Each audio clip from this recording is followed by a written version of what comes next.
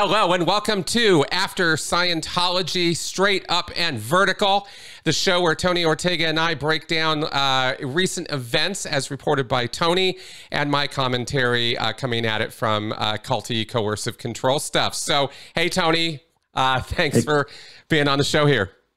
Hey Chris, how are you, man? Ah, oh, man, what a week! I have been sick as a dog this week. I you might be able to hear oh. it a little bit. Oh. Yeah, it sucked. I was, I mean, really, I don't get sick, and it was bad.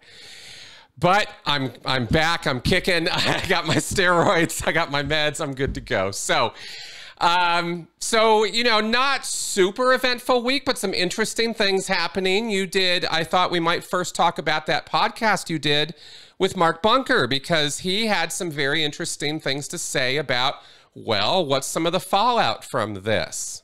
Well, I did an interview with him. Yeah. Uh, the, the podcast was me by myself, but um, yeah, you know, last time, Chris, we talked about Tracy McManus's big bombshell about that uh, we got uh, an email that was smoking gun proof that the Church of Scientology is coordinating with these landowners, uh, Scientologist landowners, to take over even more of Clearwater, and they had some sneaky plan for the North Marina area.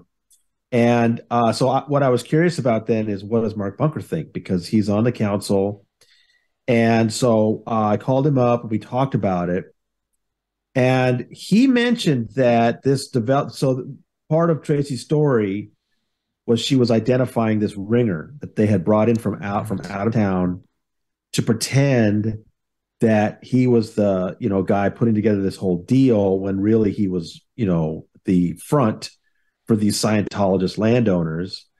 And in the email, they had said he was going to be their white knight and he was going to make it look legit. I mean, right. this is their language. This is their language. It's, it's so rare you get a smoking gun like that, Chris. You can't believe it.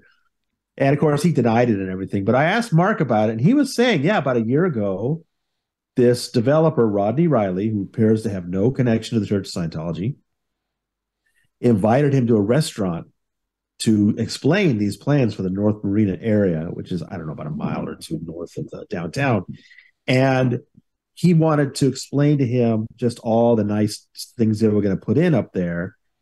And Mark knew that some of the properties that he was going to include in this development were part of those scient- wealthy Scientologists snapping things up in the last few years. Right. And Mark's and Mark said to him, "Look, I don't have a problem with Scientologists wanting to improve things in this town." And he he cited specifically Moises Agami, the Mexico City wealthy Scientologist who had come in and turned a derelict bank building into this Skyview condo thing that Tom Cruise has the top two floors of. Right. And Mark is like, look, if a Scientologist wants to come in and make our town better with a new development, he doesn't have a problem with it. And he said it was Riley's reaction to that that told him something was up because he said Riley was really, you know, it was what Scientologist? I don't know what you're talking about. And at that point, Mark said the guy was so disingenuous. Uh, he knew ah. he knew there had to be something going on. Yeah. And then eventually, because you know, an honest response would be, yeah, I'm working with these Scientologists who own land. They're interested in a nice new develop up here development. I think we're all on the same page. We just need a little city's help. And see, that was the thing was that what they want to do up there is kind of change the character of that part of town, which by city code, they're trying to keep this sort of old fashioned look to it.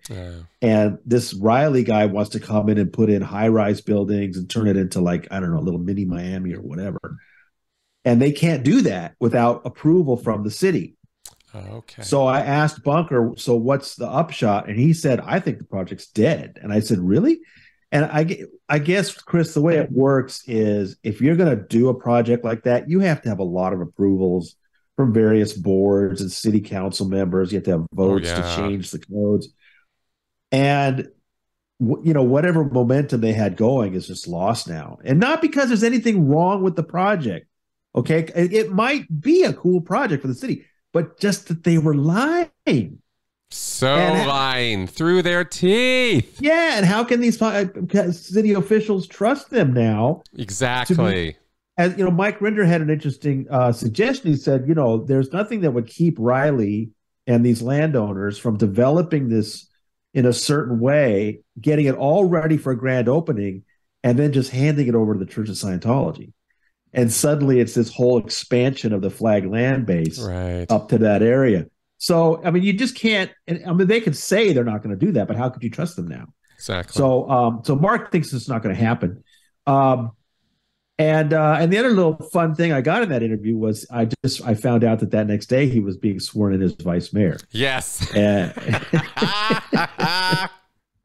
and the readers love that. I have to point out it's kind of an honorary thing and it's a rotating thing. But you know, as um, uh, Phil Jones was pointing out to me, you know, the the mayor had walked off. Frank Hibbard had just resigned in the middle of a meeting. Yeah. And so they brought back a former mayor to serve out those last 11 months just as sort of a steadying force. Well, that interim mayor's son yes is connection. land attorney for Rodney Riley, the developer.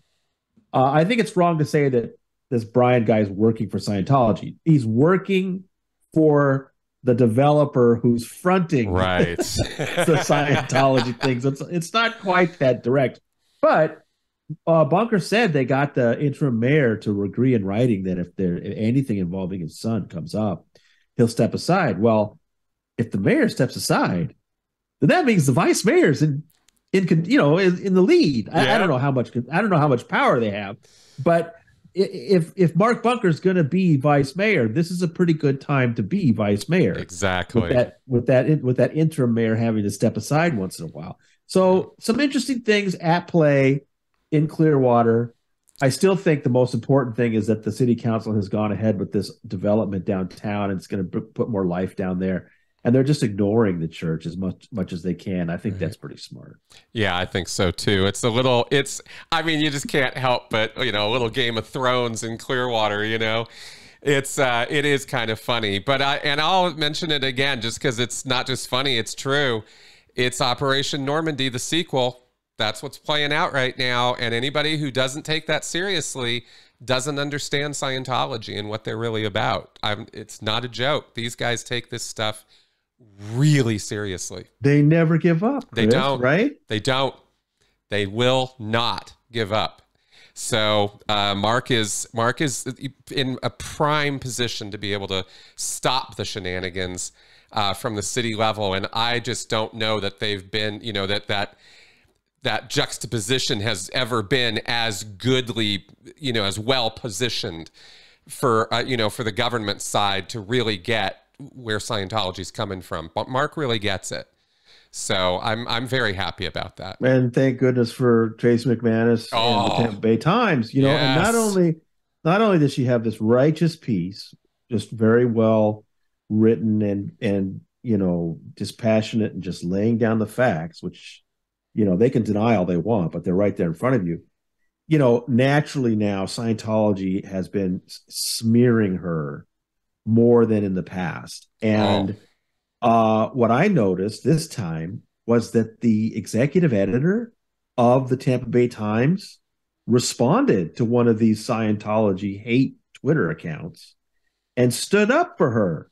And i really like to see that. I love to see an editor stick up for a reporter who's sticking their neck out and doing these things. So that that made me feel like Tracy's got some good backup there, yeah. and that the paper values her and what she's doing because you know this is the kind of thing that we know Scientology's doing it, but it's so great to have that piece of evidence. Here it is. You know they they're coordinating these land grabs and they're just putting an even worse stranglehold on the city of Clearwater. Yeah, exactly. And it's really quite something. It's worth noting. I because I, I, even tweeted about it in the middle of the week how how over the top these Twitter accounts are. How just I mean oh. the smear on Tracy was gross. And of course the continued nonsense, you know, towards you and towards Leah, towards Mike it's i mean it's just so outrageous that you that i actually you know i ignore it for the most part and i really do tell people hey, leave it alone. Don't don't engage yeah, with those guys. yeah don't you know it's just I, not worth the time. I always i always feel so uh, good when i see one of my readers stick up for me and try to take them on but i also feel like God, don't bother. It's just yeah. they have they have tiny followings. They're just flinging mud at the wall Uh, you don't need to stick up for me. Um, but I understand why people get sick and tired of it and, and you know, fire back. Yeah. But yeah, of late, it has really, really been heavy, particularly against Leah and Tracy. And I just hate to see it. Me too. Me too. But I, but I do have to kind of, at the same time, you just don't see this kind of blatant hatred coming out of any other religious organization or institution when they are when they're attacking critics or or trying to you know defend themselves or front from themselves or whatever. It's so obvious this is an unhinged group. And I, I, I got you got to thank him for that part at least you know so now, uh, moving on, there was an update in the Masterson case. This thing is rolling forward. Right. And apparently, there was an attempt by the defense to delay until August or something, and Judge Olmedo's kind of put them in their place. There was a full transcript on this. What was the heart of that? Well, here's the little piece of reality that's uh, already shaking my head, Chris. Uh, I know this goes to uh, online on Monday. Mm-hmm. So when I say today, I'm saying Monday. The trial starts a week from today. oh, wow. God, wow. it's coming up fast. Man. Jesus, a week.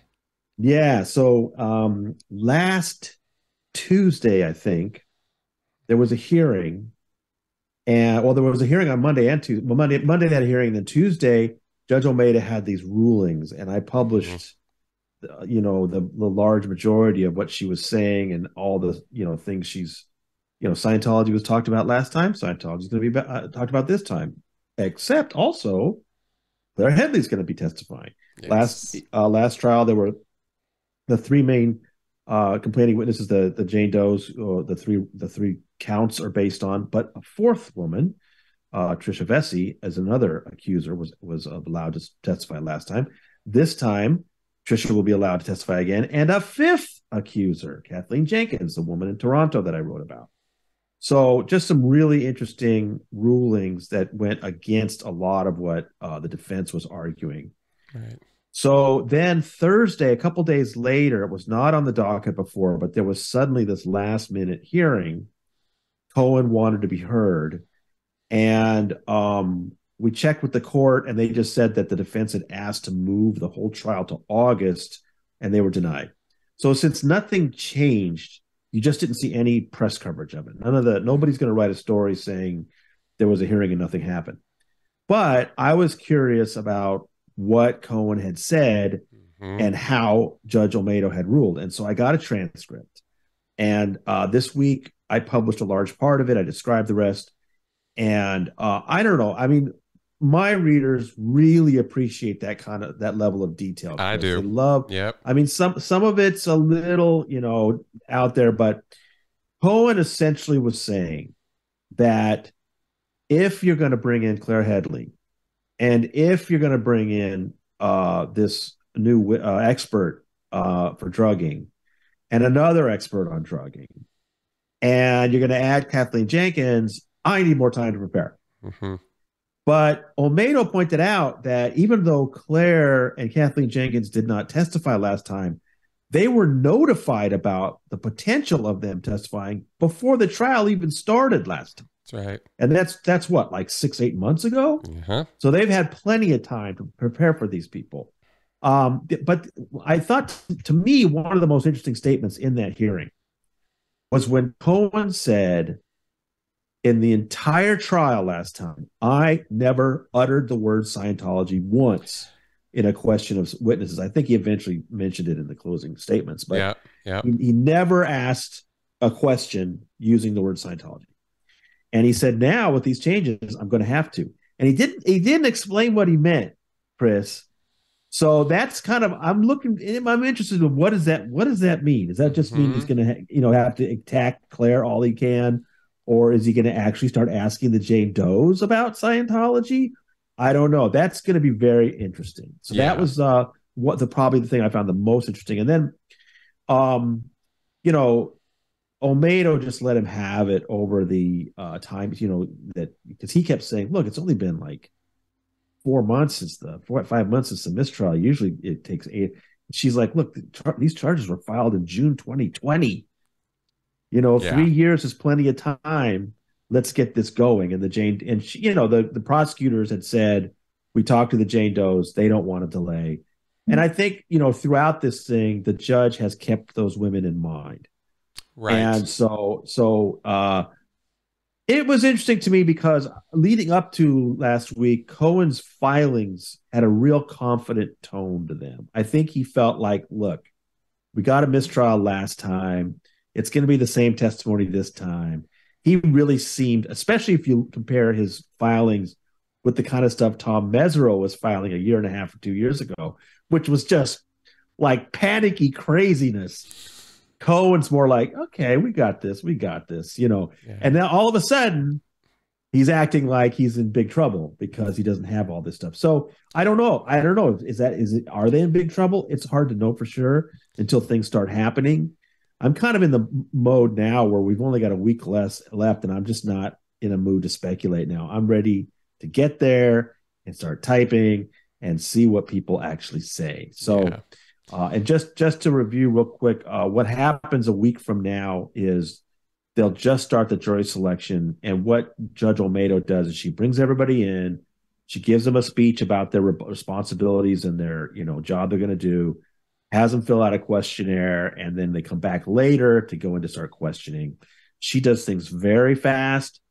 She's expecting actual uh, opening statements and testimony to begin about uh two weeks from today, Chris. Okay. So All right. yeah, things are going to be moving. Yeah, big time. And I, I, you know, obviously from a transcript, you can't necessarily hear tone of voice and that sort of thing. But I, I agree that Cohen was definitely a little like, "Rah," uh, you know, in what, and I mean, because he was going on these long diatribes, and I thought it was interesting that he kept wording his arguments and well, I have to, and I have to, and I have to, as a as the defense attorney. Excuse me. Um, and then she points to the table and goes, "Well, you got this person, this person, this like you have a lot of other people behind you over there on that table. I see. It's not just you. You know, like come on, give me a break. You guys are Well, and the other the thing that she said that was a little surprising was, I mean, obviously he's got Karen Goldstein, and she's sharp. Let me tell you, I've been in that courtroom with her. That woman is very sharp, and I'm sure she's a great help to him in going through all this material. But she also mentioned Shawn Holley. Now, you know, I remember leading up to the first trial, Shawn Holley was busy with that Trevor Bauer stuff, and um, she just wasn't around. And at one Right. point, I, a- I asked the clerk, I said, "Has she taken her name off this case?" And he said, "No." And uh, I, but we didn't see her the whole first trial. right. But now, but now Judge Olmedo has mentioned that that sh Shawn Holley is still an official attorney for Danny Masterson, and she was pointing that out to Cohen, saying, "It's not all you, buddy. You got a team." And um, but does that mean she's going to show up in the second trial? I don't know. Yeah, be interesting. It, it will because it, could be a whole nother thing from from the defense side with that. The other thing I just noted during the week that was interesting to me was Ellen Barkin actually tweeted about this case. Oh, And- really? Yes, she did, and she said uh, she said she was she was tweeting in annoyance because somebody had called this mistrial, this new trial, a reboot, and she went out of her way to say this isn't entertainment. This is a rape trial. Let's not Right. treat it like that. This isn't Wow. a reboot. You know, this is a trial. And I was like, damn, Ellen, step up. Good. You know, she was she's noticing. She's paying attention. I mean, obviously, uh, I am interested in in how things go. I'm excited, but I'm also I just feel so much for everybody involved, especially Yeah. these women, but also the other witnesses that have to come in and do the whole thing all over again. And they, of course, they're going to be thinking about ah, if I say something slightly different, is Cohen going to go down my throat with it? You know, and it's just ah, I'm sure it's just making everybody really nervous. So Yeah. we'll see. I can't believe it's almost here. I know. So fast. This happened so fast. Okay. And uh and then I believe moving on here, you had something you wanted to uh we're getting a live reaction right now, folks. I do Yeah, not know right. what Tony's about to drop. So what do we well, got thi- here? this morning's story uh, has to do with at, at tonyortega.substack.com. This morning's story is about this disgraced, retired New York Police Department detective, Yanti Michael Green, who is accused of raping a woman he was supposed to be surveilling and is being sued over it. And in that lawsuit, they got a hold of his phone and in his phone found texts showing that he was also stalking Leah Remini and Jennifer Lopez for the Church of Scientology Yep. and yours truly. He was also investigating me for Scientology. So we have an interest in this guy. We're just interested in this case, even though it's a little tangential to Scientology. So there was a hearing uh, a couple of weeks ago, and I hadn't mentioned it because not very much had happened. I saw him. Uh, they were getting things set up to uh, get some discovery going in that case and some depositions signed up. And there was an objection because the judge just wanted the parties to set up for depositions. So the plaintiffs, the defendants, and Green had added some more names. And they said, you can't do that. You can't have non parties. You know, if you want the, and it was explained to him, if you, because he's representing himself, if you want non parties also to be deposed, you have to submit them and the court will decide whether to subpoena them or not. Okay, thank you, Judge. So uh, I, I kind of forgot about that because we're still waiting for a ruling in that case about something else. Well, a document was filed this week where Yanti Green has listed all the people he wants the court to subpoena so he can depose them. And it's 12 names now, not just two. And three of those names are Jeffrey Augustine, Karen De La Carriere, and Tony Ortega. Oh my god, dude. Ah. F- to to to, to wow. Really?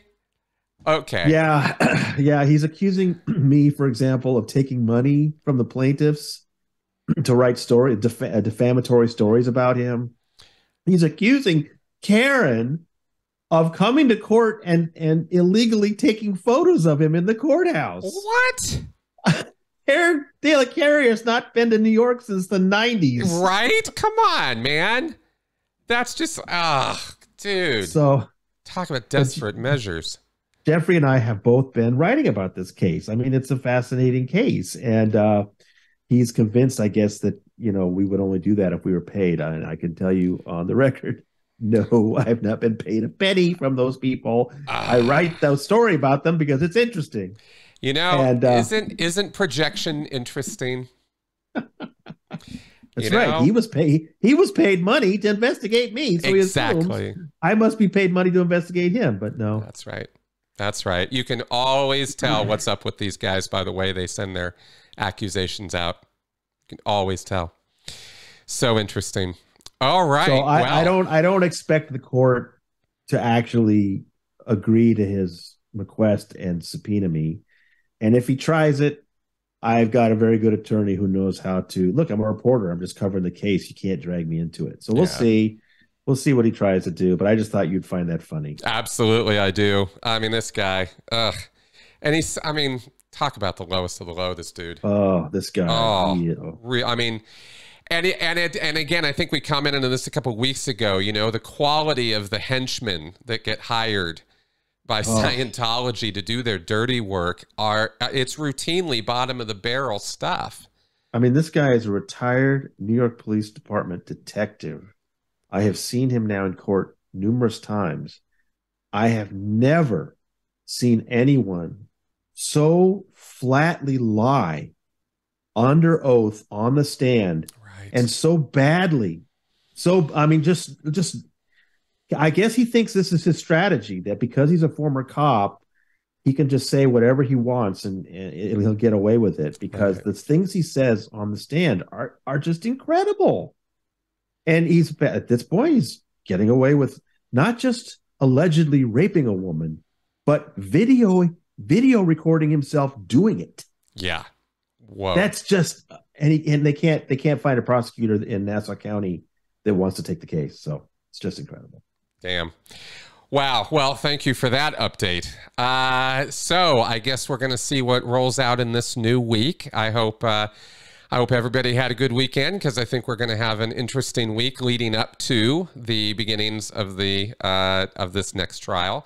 And ongoing shenanigans in Clearwater, and we'll see what else comes up. We had a um, just as a as a side note, there was a whole BBC thing on a cult on a coaching cult that really Right. blew up over there. This Lighthouse International group, and uh, just there's there's things blowing up kind of in the cult world in interesting ways. You know, uh, as we bring more awareness into this world on this stuff. So Scientology is kind of an interesting way of.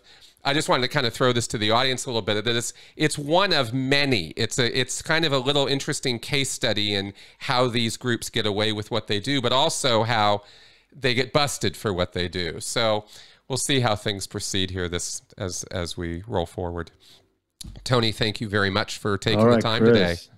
You bet, man. All right, folks out there, thanks for subscribing. Thanks for coming around. I know you guys like this one. We're going to keep this one uh, shorter than than we have our other ones, but uh, but good on uh, coming around and subscribing. Share, like, subscribe to Tony Substack, and I'll see you guys very soon. Bye bye.